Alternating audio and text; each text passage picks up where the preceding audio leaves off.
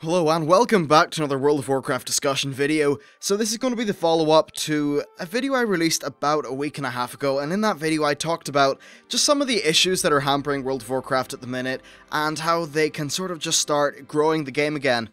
In the video in particular, I tackled the starter edition, leveling, and a few different topics like that. So if you have missed it, it's essentially part 1 and this is part 2 and I'll have a link to it in the description. Anyway, let's move on to this video itself, and I'm going to be talking about the endgame of Warlords of Draenor, and just potentially how it can sort of fix and improve things, and in general, just how things may play out during the expansion. And then, depending on the amount of time I have left, I may talk about some business decisions like subscription prices, um, battle chest prices, and various things like that. But anyway, let's jump into the meat of this video and endgame. So, after the last episode's fixes, we managed to get people up to the endgame successfully, and World of Warcraft's endgame has always done a pretty decent job at keeping people busy, though there are definitely some improvements that can be made, and uh, first here are just a few of the things that Warlords of Draenor will have already made better. So first of all, there is the new raid structure of normal, heroic, and mythic, and this really does cater to a lot of people. Having an expansion with the progression starting at flex, well, the equivalent of Mists of Pandaria's flex from the outset, is great. In Mists, a lot of people didn't really have a difficulty that suited them, and a lot of those people actually left before Warlords of, or not Warlords, sorry, but, um, before Siege of Orgrimmar released. That is whole sort of ICC 10 crowd, they haven't really been um, catered to in terms of dif difficulty levels since Icecrown 10. They had to deal with three tiers of Cataclysm that didn't suit them, and then two tiers of Mists of Pandaria. It was only with Siege that they actually got that difficulty level back. So a lot of those people are going to come back for Warlords, and then they're going to find that the difficulty level that they really enjoy playing at will now be catered for, and that really is kind of fantastic. Also, now that Flex is here, and it's going to be properly kind of fleshed out, um, this means that LFR can properly be made the tourist mode that Blizzard have been talking about. Now, before you jump into the comments and rage, I do have a few points to make about this, so actually do wait until you hear my opinion. Um, so yeah, this does mean perhaps less one-hit kill things, maybe more forgiving mechanics, but I think in general what matters is that, that they design these encounters a little bit more specifically for LFR, and at least the LFR versions that is, the point is that it's only designed for people who want to see the content once and be done with it. That's kind of the point of LFR. Blizzard have said many, many times that the game is better in organized non-match, uh, sorry, in organized, um, yeah, non-match made groups. And LFR is really just best for people who are, say, PvPers or pet collectors that basically just don't really care about PvE gear progression. Now you may be thinking, hang on a second, um, LFR has been my uh, my endgame what the hell? With it being easier, um, I don't really get any challenge, right? No, that, that's wrong. There is actually a, quite a few other changes that should help people um, out in this regard a lot. So the group finder system is being expanded upon, and it's going to be similar to some add-ons like OQ. This means that people can cross-realm set up groups for almost anything. And um, having just used OQ to uh, cap Conquest a while back, I can say it's a brilliant system, and then the official Blizzard version of this will help a lot.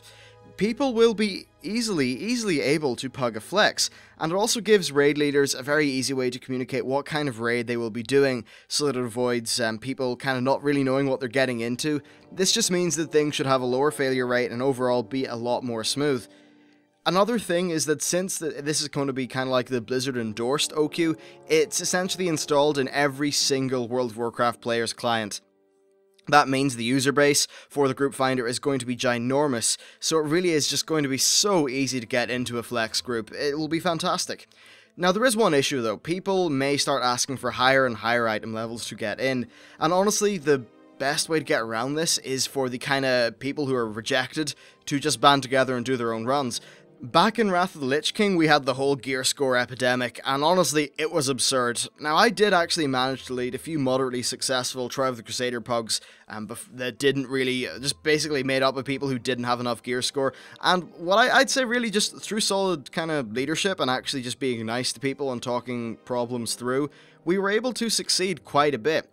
And that was what got me the gear score that I needed to be widely accepted into groups.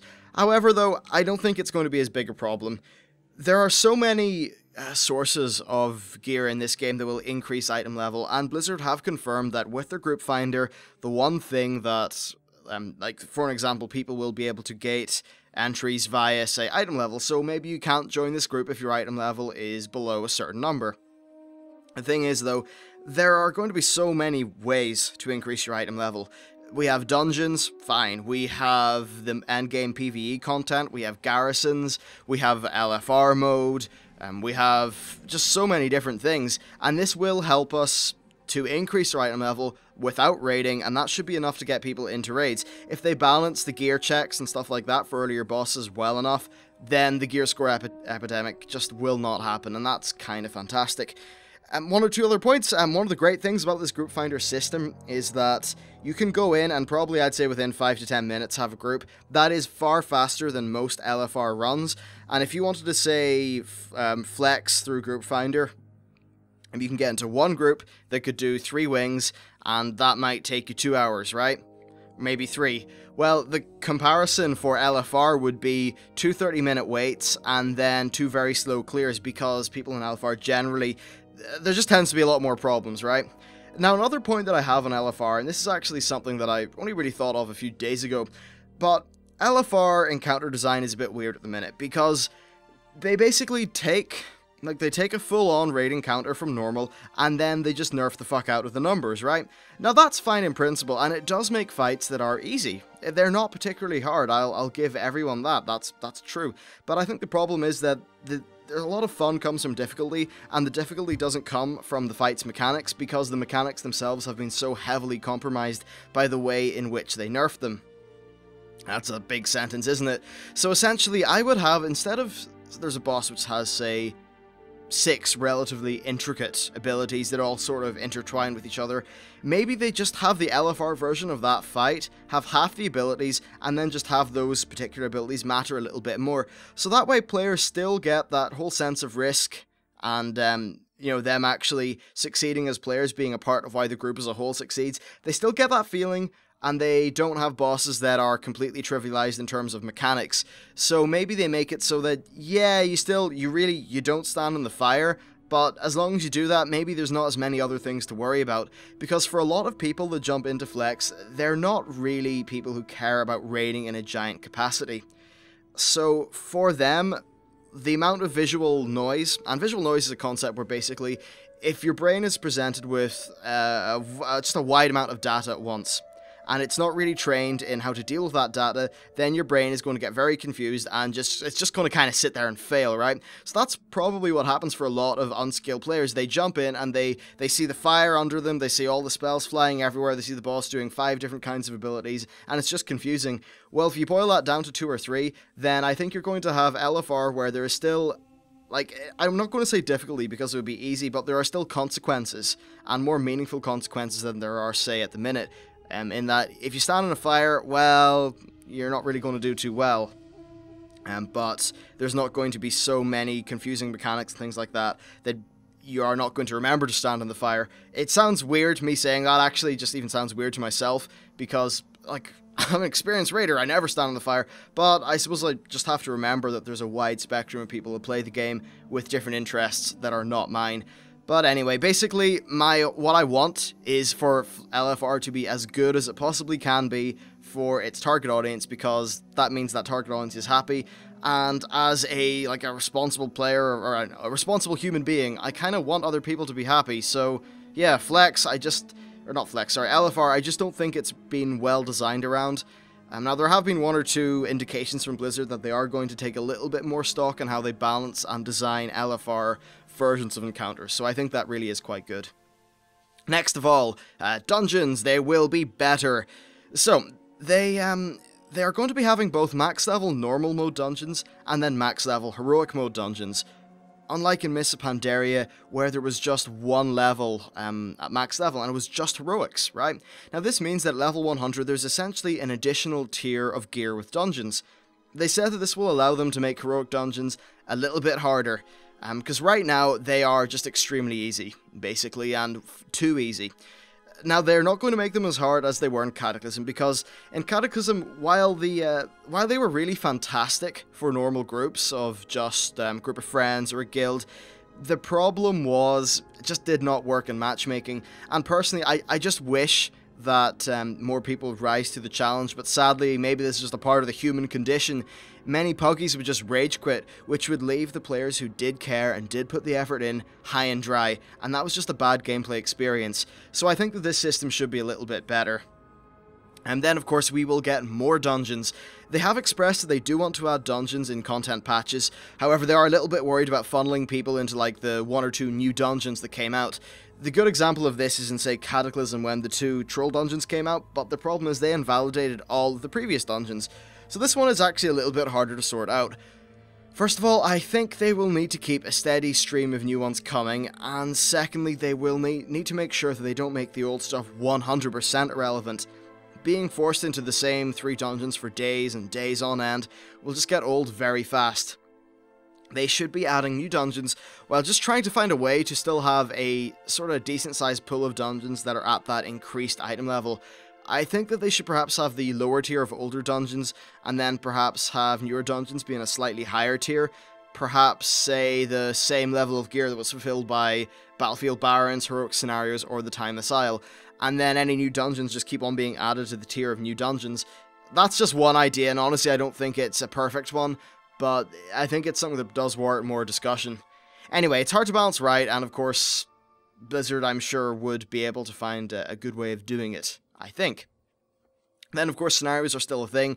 Um, I think the regular ones are really just going to be there to fill out gear spots for people who have just dinged. Heroic scenarios are very strange because you see in of Pandaria they completely undercut heroic uh, dungeons by quite a bit, and we just don't know how this is going to work out in Warlords of Draenor.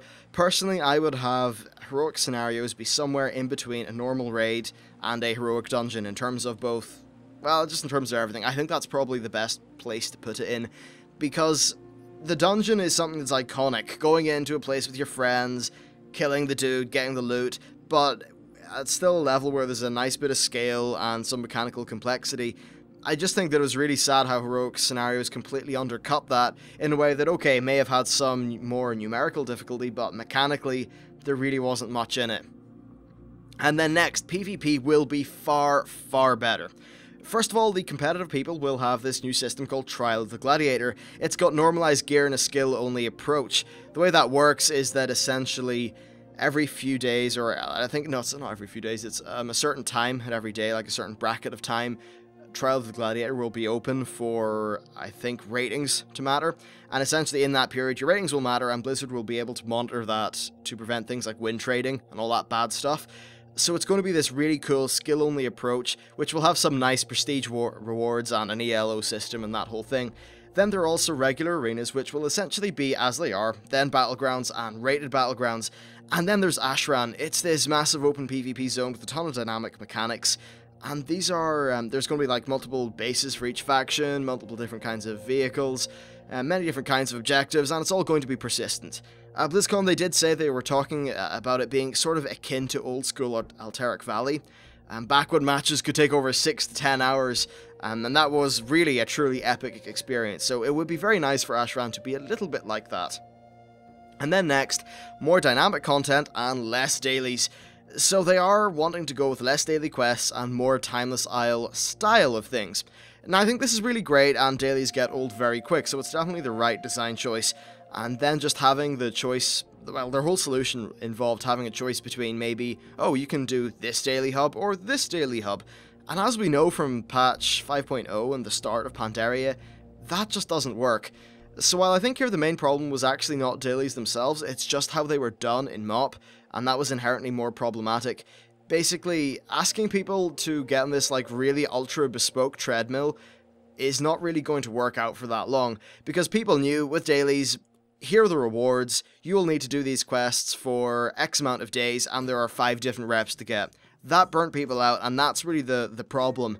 If there was just one or two sets of dailies and they were smaller or perhaps better done, then I don't think we would have the current situation where everyone is just yelling about dailies and being angry, but I think they really just killed dailies when they did that. Now, Draenor is going to be full of lots of cool stuff for both leveling and then the endgame solo PvE, and I'd imagine that there will be a lot more kind of heavily designed zones and areas. Um, what I mean by heavily designed is um, basically a lot of these like cool mechanics like finding treasures and dynamic events, they're really going to be well ingrained into the actual design of the zone. And that's actually going to tie in with the fact that you cannot fly in patch until patch 6.1. So a lot of the world will feel more alive and the end game PvE will be far more relevant, hopefully a lot more engaging. They also do need a little bit more structure than the Isle, though. I think people did blow through the, the Timeless Isle really quickly, just due to how it was designed.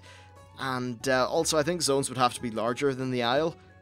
Uh, still, though, I think that similar, similarly styled content in the future will get better and better, to the point where the Isle just looks shit in comparison. And honestly, the Timeless Isle was really just a test bed in comparison. Well, like, um, yeah.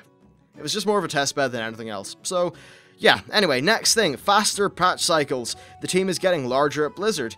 And right now, there are... Uh, there, sorry, has, bar the post-patch 5.4 period, been a patch every three months, and I feel this is actually quite nice in terms of pace. However, they could do more, and I'd say they should do stuff like little tiny patches from time to time that just kind of give you more elements of a story. So kind of like quest patches in between the sort of 5.1 and 5.3 style patches even stuff like just adding new dynamic events, uh, maybe a lore quest line that leads up to the next patch. Essentially, things that will keep the player base engaged on a month to month basis. I think ideally, a monthly patch that would do something cool would be absolutely fantastic, and I'd be really just happy with that. And then finally, with the things that we know are coming, we have garrisons. These seem like a whole game in themselves, actually, which is kind of great and there will be stuff there for raiders, PvPers, and basically just everyone. It's a system that will kind of it will have some area of it that's relevant to everyone that plays the game, so there is content there for the whole lot of us. And then it's also a system that can be added to and expanded upon as this expansion goes on. And this is really the big new feature in the expansion, I guess, and I think it's going to do a great job of keeping people interested. I do, however, wonder, though, how long it's going to take to get level 3 your garrison and then after your garrison is leveled up, how much of an like um, an incentive is there to keep on going? Anyway, so that's really the stuff that we know about Warlords of Draenor. Let's spend a little bit of time uh, just talking about one or two things which I think they should really be adding in in the expansion that will help us out. So first of all, we have Mythic Dungeons. Now this is an idea of mine which really combines the best of multiple kind of dungeon systems so I'm sure many of you from the Cataclysm era who are in guilds remember really enjoying the heroics. So why not have heroic dungeon level or Cataclysm heroic level dungeon difficulty in Warlords of Draenor, but instead of just sort of shoehorning it into this matchmade thing, let's just have mythic dungeons. We already have mythic raids, where the uh, expectation of mythic means significantly harder than the other difficulty levels. Why just not have that? I think it would be fantastic because it would give gilded players I suppose, a far more fulfilling option in terms of play, but also, and I think more importantly, for the solo player, or not, not sorry, not the solo player, but the, the kind of max level player who's in a guild, but doesn't really have the time to commit to, say, a three hour raid three, two times a week. And that is a lot of people, because 9 hours is a lot of time out of anyone's week, let's be honest. So for these people, you can still do Mythic Dungeons as a form of really fulfilling and challenging endgame content. Now, a lot of people are probably going to say, well, hey, we have challenge dungeons already. Well, here's the thing about challenge. First of all, it's a time trial, and some people would rather do the sort of slow, methodical, really plan out your maneuvers kind of thing, and just not, uh, not really wanting the stress of a time. And I actually agree with that, and I think that's totally fine. So that's one way in which challenge modes doesn't cater to this. Another way is that there's no gear progression at all. Like, it just normalizes everyone's gear, so... Um, in terms of progression, I guess there's uh, there's far less of a carrot there for people, and in MMOs, people do like the carrot. Uh, so, yeah, then of course it also just avoids the whole problem of the stuff being too hard, and then because there's the whole matchmaking system with LFD, they need to nerf it, and they just nerf it by doing like a flat 20% nerf. Then that makes all the mechanics of the encounters just kind of broken and janky, therefore it's not fun for everyone. So I think, yeah, go do Mythic. Now, another question about Mythic uh, dungeons would be what kind of item level do you put it at? And honestly, I don't have a full-on solution. I would put it at perhaps maybe slightly under flexible raids, but only slightly. Or maybe the same as flex. Actually, no, no, I'd say slightly under flexible raids. Hell, for those people who are trying to do group finder, um, yeah, who are try- trying to do a group finder group for flex, maybe you find, oh damn, I just I just can't get a high enough item level to get into this flex group. Maybe Mythic Dungeons could be your solution. Now, unfortunately, as much as I love this feature, and it's actually one that I came up with about three months ago, I think, as much as I'd love this to be there, there is absolutely no indication that it will be, and I think that really is a missed opportunity. At least we can kind of console ourselves in the fact that the uh, the baseline heroics will at least be a little bit more difficult. Anyway, so LFR improvement. Now, I will gloss over this because I kind of talked a little bit about it above, but essentially, having LFR, instead of having the whole bunch of crazy amount of mechanics, etc., as I said earlier, it's taken down to two or three mechanics that are quite readable, but also require a tiny bit more attention and that, that way, you actually have it so everyone running through LFR understands the fight, they kind of get an idea, and what's, I think, more important is that it actually boils that raid experience down into this kind of, okay, let's be honest, an easy format that still sort of matters. So that would be kind of nice, and it means that for this tourist mode, as Blizzard have been calling it recently, there is at least some gameplay value there, instead of just having a few hours of your life wasted with idiots running into fires and just all the kind of me like mechanical um, cluster that there is, and it's not really intelligent cluster because of the way LFR is currently nerfed down. Uh, so that's one thing. And now also, if there, if there was just three or four mechanics, what could literally happen, right, is when uh, when the LFR group goes up before the boss and you know they're ready to pull, just a little UI element pops up and says, by the way, here's this boss, here are the few things that he does, um, here's a little bit of an example, or whatever, so that people can actually understand what's going on in the boss fight, they appreciate it, and they have a little bit more fun. Yeah, this is not something that's going to appeal to a lot of you guys, but honestly, for the people who would say that my implementation of LFR is too easy, then LFR is not I, actually think that Flex suits you far better, and since Flex is something that you will be able to jump into at any point because of the group finder, then it's not really an issue in Warlords, and that's kind of great. Then next, we have a monthly 5.1 style storyline quest. Now, this is probably not going to happen because of development time, but I'd say in the expansion after Warlords, this is probably uh, definitely something that could happen. Now, the 5.1 storyline quests were actually something that a lot of people enjoyed. Of course, people didn't really like the Daily Hub bullshit that was going on in 5.1. At least that quest was engaging. And one of the cool things about that quest as well was the fact that it only unlocked once every few days. Now, what I think from a MMO design uh, point of view, that kind of kept a little hook every day for people to go in and check, and uh, you could have a series of 10 quests that actually lasts two or three weeks. That, just having that every single month could work quite well. Now, I think actually a really good example of this is Spartan Ops in Halo 4. And I know a lot of you guys don't play Halo 4, and honestly, I don't either, but I played a little bit at launch with some friends at university. It was good fun, actually, really fun game. Anyway, it had this system called Spartan Ops, and these were a series of five missions, and actually the missions themselves really rudimentary, but I think, uh, yeah, it was like a new set of missions would come out every two weeks or whatever, and they would be accompanied by a new story cinematic, and they just have a new wad of story to them. Now this was cool, because every two weeks you would go back to Halo and you'd know, oh yay, there's like a new cool story thing waiting for me. So that's, that's, like it worked out like that in an FPS. And FPSs are generally something where there's not a terrible amount of persistence in terms of gameplay from match to match, you know, other than unlocking the odd gun or something.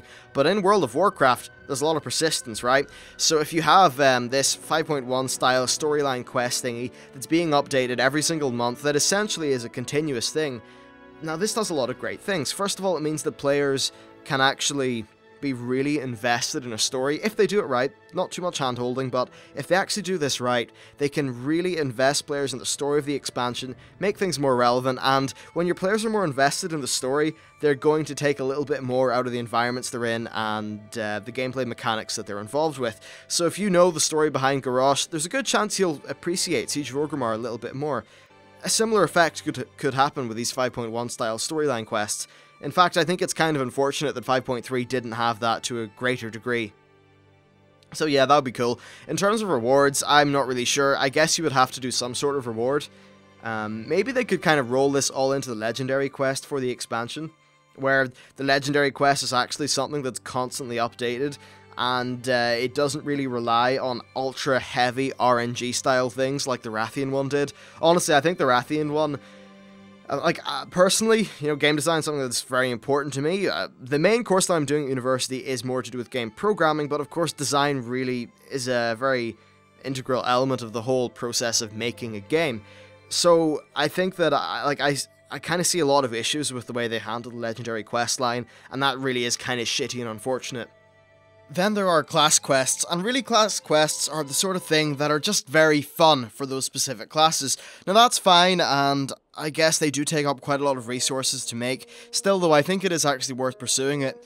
The Warlock class quest seems to be just a complete success in the both Blizzard and even just most of the Warlocks that I know. Um, in general, it just seems like it was a real highlight of the expansion for a lot of people. So if they could bring this to as many classes as possible, while still having them feel like they work out in terms of the context of the expansion and the class's lore. So not things that are just kind of foamed in, or phoned in, whatever, and just kind of random, but at least stuff that sort of makes sense, like the Warlock Green Fire quest. It did make sense within Warlock lore, so they can do more things like that, I think it would be quite great. It's also a way of providing more meaningful and relatively challenging endgame gameplay that's like outside the usual instant stuff. I think World of Warcraft does have a bit of a tendency of just locking content inside an instance behind a loading screen, and that's a bit of a problem. I remember there being some cool quests like the the old Seer quest, and some various things like that in Mists. And I think if they just had a great deal more things like that, it would give uh, a little bit more longevity into the end game, and just the regular people who don't raid all the time will have more content to do. Now another cool thing about the class quest is that it actually allows them to do some very cool things in terms of rewards. You can actually have class specific um, like a class specific legendary or a class specific loot item at the end, something that feels really special to players of that class, and something that's at least hard enough to obtain that it does feel like an epic reward. Not just something like the epic cloak, which is got by getting some random items and then killing a kitten, uh, a spectral kitten, which has like 70 million HP, that's easy that wasn't too epic, but I think if they just tie something in with a class quest, it could be really cool. For an example, as a hunter, maybe you can get a really badass bow, uh, maybe, I don't know, mages can get a cool hat, or something that just fits the class, and at least maybe has some lore behind it. Perhaps when, like in Draenor, it's a whole new planet. Maybe there are some heirloom. When I say heirloom weapons, I mean more kind of like legendary weapons of that era in time. So maybe the bow of some really awesome orc who was a great hunter that kind of thing.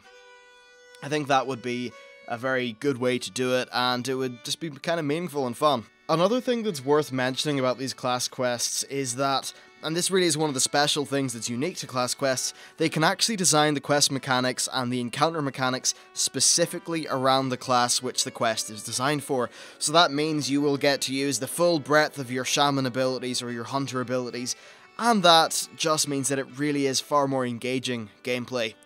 I think um, in specific, like we'll definitely get a, a shaman uh, quest, and the reason I think we'll get a shaman one is because the original shamans were orcs. Orcs come from Draenor. A lot of shamanism takes place in Draenor. Therefore, it makes complete sense that shamans will get one. In terms of other classes, I'm not specifically really that sure. I mean, they, they could definitely fit things in for a lot of different classes given what's going on. I think a hunter can make sense because the place is all sort of primal and bestial. Maybe it involves you and Hemet Nesingwary going off and killing some of the most badass giant creatures of the time. Um, and just general things like that. Maybe for warriors, it's some sort of orcish honor based thing. They really could do a lot with this. Anyway, so now that we're done with that, the next thing I think would really help out is a multiple raid per tier Northrend style, um, well, uh, Northrend uh, launch style kind of raid setup. Now, when you launched into Northrend, you had Naxxramas, you had Sartharion's Lair, um, and you had the Oculus. Now, what was really cool about this, first of all, Naxxramas I didn't really enjoy, and the Oculus, yeah, it had that vehicle problem, which was definitely a problem. But what this did was it gave you a very significant break in scenery, right? Because all, like, the three of these places looked very different. That's really important. So right now what they're going to have in Warlords is Highmaul and uh, some Blackrock place. Essentially it's two 6 to 8 dungeon raids, or 6 to 8 uh, boss raids. Now that's fine, but I think these little one or two boss raids are actually something that they kind of have lost a little bit in World of Warcraft.